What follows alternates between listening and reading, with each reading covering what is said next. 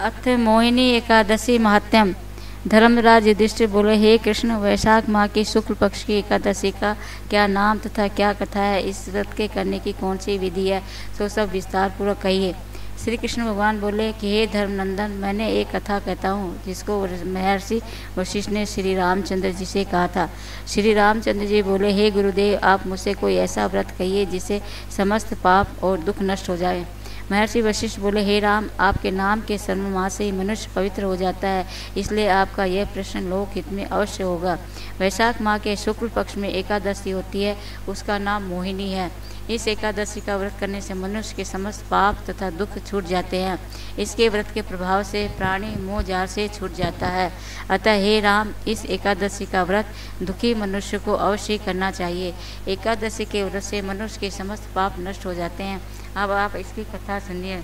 सरस्वती नदी के किनारे एक भद्रावती नगरी में एक धनपाल नाम का धन्य धान्य से पुण्यवान एक वैश्य रहता था। वह अत्यंत धर्मात्मा था और विष्णु भगत था। उसने नगर में अनेकों भोजनालय, प्याऊ, हुआ, तालाब, धर्मशाला आदि बनवाए। उसने सड़कों के किनारे अनेक वृक्ष लगवाए। उस वैश्य के पाँच पुत्र थे। उसका सबसे बड़ा पुत्र अत्यंत पापी था। वह दूसरों की स्त्रियों के साथ भोग विलास करता था।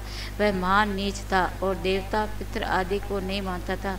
वह अपने पिता के धन को बुरे व्यसनों में खर्च किया करता था। इस पर उसके पिता, भाइयों तथा कुटुंबों ने घर से बाहर निकाल दिया और उसकी निंदा करने लगे।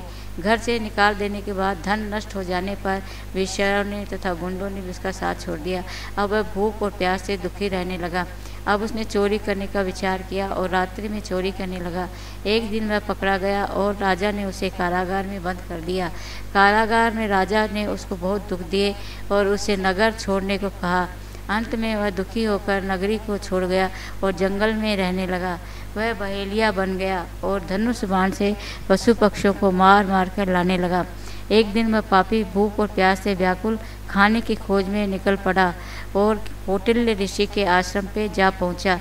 उस समय वैशाख का महीना था। कौटिल्य ऋषि गंगा स्नान करने आए थे।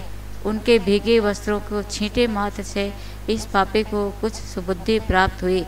वह पापी मुनि के पास जाकर हाथ जोड़कर कहने लगा, हे मुनि, मैंने अपने जीवन में बहुत से पाप किए हैं। आप उन पापों से छूटने का कोई साधारण और बिना धन का उपाय बतलाइए। तब ऋषि बोले कि, तू ध्यान देकर सुन। तू बैसाख माह के शुक्ल पक्ष की एकादशी का व्रत कर। इस एकादशी का नाम मोहिनी है। इसका व्रत करने से तेरे समस्त पाप नष्ट हो जाएँगे। मुनि के वचनों सुनकर वो बहुत खुश हुआ और उन मुनि की बतलाई विधि के अनुसार उसने मोहिनी एकादशी का व्रत किया।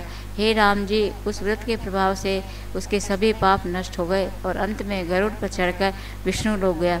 इस व्रत से मुँह आदि भी नष्ट हो जाते हैं। इसके महात्म्यों को श्रवण और पठन से एक सहस्त्र गोदान के बराबर पुण्य मिलता है।